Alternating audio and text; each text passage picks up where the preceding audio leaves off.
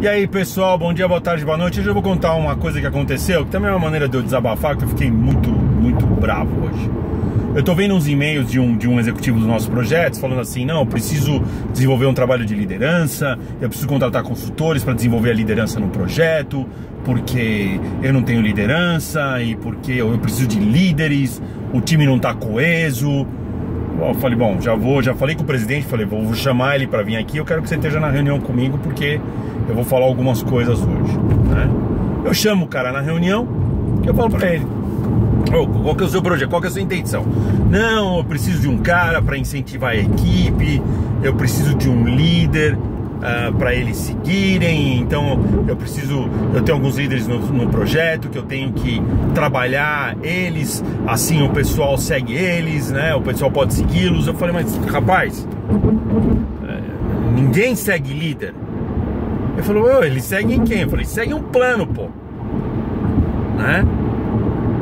É, as equipes não seguem líderes. Esse é um conceito básico, vocês têm que entender.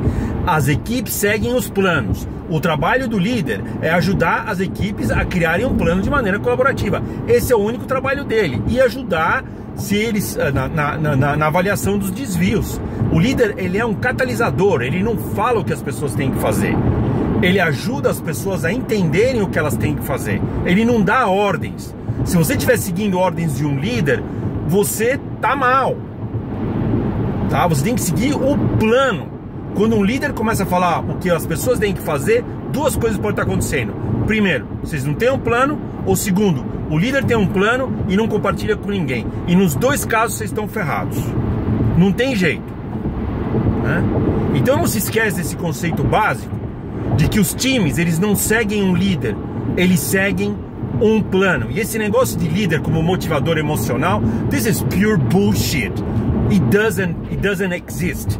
Né? Eu sempre falo, ah, esse cara é um bom motivador, tá bom. Então quando nós não, a gente não realizar lucro, eu quero que você pegue esse mesmo líder motivador e ele vai falar com o presidente da empresa dizendo, poxa, nós não fizemos, nós não atingimos o objetivo, mas nós aprendemos.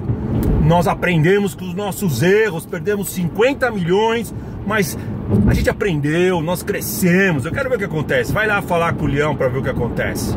Esse papo furado aí de líder emocional. Você parar com isso na indústria. This is pure bullshit. Líder é catalisador. Tá certo? Catalisador. Ele ajuda as equipes a identificar o plano, a identificar a visão. No meu treinamento eu vou falar disso, mas dizer que líder é, é, as pessoas seguem líder, meu amigo, é só, todo mundo que seguiu líder, vê essa seita religiosa que todo mundo seguiu líder, todo mundo morreu no fim. Suicídio coletivo, eu sempre falo isso. Presta bem atenção, não vai ser besta, tá certo? E outra, eu não tô bravo com vocês, não, é só um desabafo, né?